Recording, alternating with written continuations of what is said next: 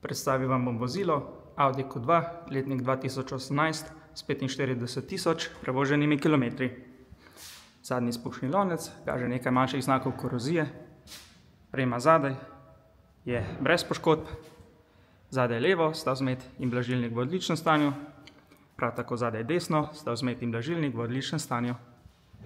Rezervoar za gorivo ni poškodovan in ne pušča, zaščita podvozja na levi in na desni strani vozila, brez poškodb, spredaj levo, roka, manšeta, končnik in vzmet v odličnem stanju, prav tako spredaj desno, roka, manšeta, končnik in vzmet v odličnem stanju.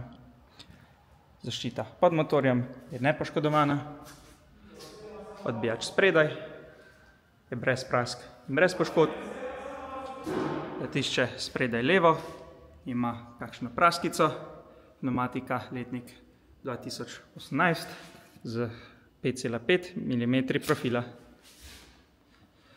Prak na levi strani vozila izgleda odlično, letišče zadaj levo ima kakšno manjšo praskico, pneumatika letnik 2018 ima 5,5 mm profila. Odbijač zadaj, prav tako brez prask brez poškodb, letišče zadaj levo ima kakšno manjšo praskico, pneumatika letnik 2018 z 5,6 mm profila.